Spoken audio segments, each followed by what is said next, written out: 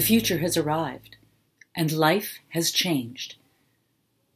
Just as the Bronze and Industrial Ages transformed life, we are in a new age of technology and human evolution. Artificial intelligence is changing every aspect of human life with the potential to make life better. Just think what's happening right now. Technology allowing us to communicate worldwide remotely in real time.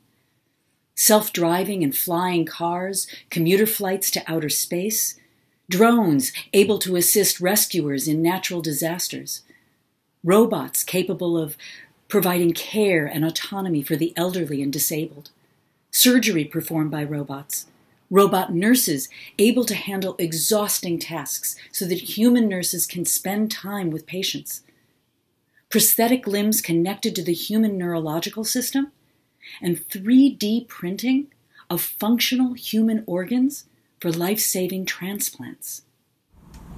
If you're experiencing a combination of curiosity, doubt, excitement, anxiety, you're not alone. The majority of people worldwide are concerned with potential negative consequences of AI, like data privacy abuse or job loss. And these are essential to address. Yet the best of AI is being designed to help us, not to harm or replace us. I understand the fears and concerns. I had them. But once I began exploring, I was thrilled about the astounding opportunities for social good. Darwin's theory of survival includes adaptability, and we are all capable of adapting. I've adapted over an extraordinarily diverse range of fields, including wellness, business, research, art, education, psychology, and now collaborating internationally with people developing the ethical standards for the design of AI, considering how human well being is affected. There are people working on this. Perhaps most importantly, I come to this as a mother, concerned with the future, for our children and for all of us. Realizing that getting involved with the fear would not help me or anyone. It reminded me of something I learned from my daughter when she was a toddler through her childhood excitement and natural wonder, grabbing my face in the morning and saying, Mama, it's a brand new day. I continue to learn from that beautiful idea, especially now, to embrace what is and what is to come. I believe humans have an extraordinary role to play in the development of AI, and that by being more human, we'll develop the best ways to use, design, work, and live in harmony with intelligent machines. With the lines of reality seeming uh, blurred with the newest avatars and bots being designed to replicate human behaviors with astounding accuracy. It's important to remember that these technologies are designed by humans and that humans are needed to model what's being programmed. We can use our best human abilities, our emotional, social, and creative intelligence to parent and collaborate with new technologies so that we and they together can create new opportunities, new jobs, new activities in our daily lives that can also help us meet our need for a sense of purpose. There are many skills to be leveraged. But to start with, emotional intelligence, the ability to perceive, understand, manage, and use our emotions. This requires physical and psychological awareness of our feelings. We practice this by checking in multiple times a day and asking, How do I feel? And then, why? And what do I need to do to take care of myself in this moment? I feel like my head is about to explode. I am so frustrated I can't understand this new computer system. I need to stop and go take a walk. Or my stomach is tied in knots. I am terrified right now. I need to breathe. By practicing emotional intelligence, we decrease stress, which increases our mental, emotional, and physical well being, and our ability to make positive decisions. Then there's social intelligence. Here we use emotional intelligence to relate to others with compassion and empathy, to communicate, to constructively handle conflicts.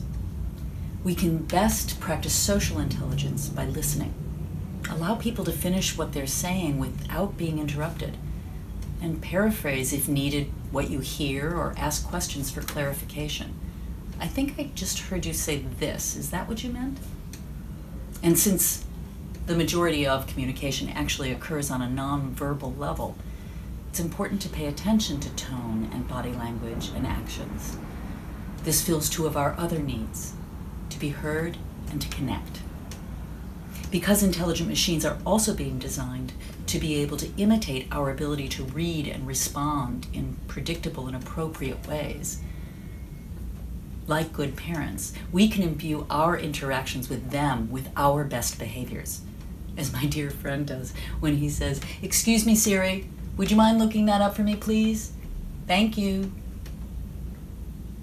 For right now, this is not the same as the interactions and relationships that we have with other living beings. The listening and communication we are capable of includes not only our conscious and unconscious minds, but what happens in our hearts. Just think how we interact with our closest loved ones and communicate, just by glancing across the room, or what we communicate with a hug, or when we hold or look into the eyes of an infant. Finally, creative intelligence. Here we use the imagination to come up with original ideas central to problem solving every human being is creative. And although creativity is not always about making art, artists can help us understand the process. American artist Jacob Lawrence beautifully describes it. Artists are constantly looking for something, and they don't always know what. Creativity is about asking questions without answers, about allowing mistakes and accidents to become learning and discovery. We practice with curiosity daydream, draw, write without an expected outcome. Ask, what don't I know? Ask, what if? What would be some of the most outrageous ways to make something happen? Da Vinci asked, what if human beings could fly like birds? Harriet Tubman, what if we could find a system to free the enslaved? 17 year old Deepika Kurup, what if we could use solar energy to purify drinking water. Again, even though that intelligent machines are capable of imitating our ability to be creative and even find solutions based on new or programmed information, think tanks of the world's top neuroscientists study the unique human capacity for imagination. Miraculous ideas born out of minds, hearts, values, intuition, fantasies, genetic memories, and the ability to connect through all of our senses on a quantum energetic level. The invitation for us is to contribute to the good of AI by practicing our best human skills, understanding that these are skills to practice for a lifetime. Beginning today, let's nurture our greatest strengths and abilities to positively transform our world hand in hand with AI. In the inimitable words of the iconic Mr. Spock and my daughter, may we all live long and prosper. It's a brand new day. I'm Marisa Zalabak, and I am a speaker who dares.